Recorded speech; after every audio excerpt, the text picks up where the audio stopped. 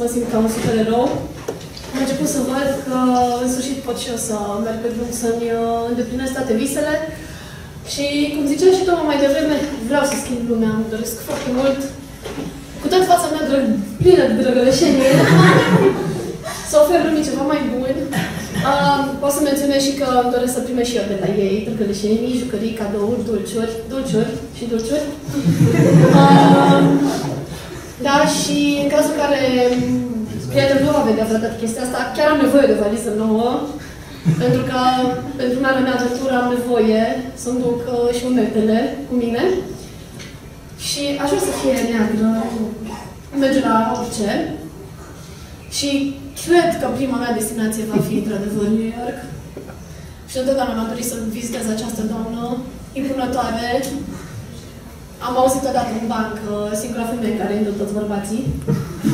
Așa, și uh, pentru marea mea aventură mă pregătesc la muncă alături de colegii mei, am învățat acolo comunicare și uh, leadership și inteligență emoțională și de la Zoltabere și de altfel. Și uh, când vine weekendul după atâta efort, îmi place foarte mult să ies în oraș, să vorba așa un pic de destrăbălare, ca să arătăm toate energiile pozitive care le-am întâlnit și să ne pregătim pentru aventura noastră. Um, mai am puțin de așteptat așa liniște și calm, dar știu că vine acolo sau de deja un vânt acolo, probabil că vine ca o furtună. Trebuie să fiu pregătită pe când mă, mă ia. Um, sper din suflet să vă pot oferi și vouă ceva frumos. Nu mizerie, nu gălăgie, nu, nu fier, nu, nu, nu ne plac.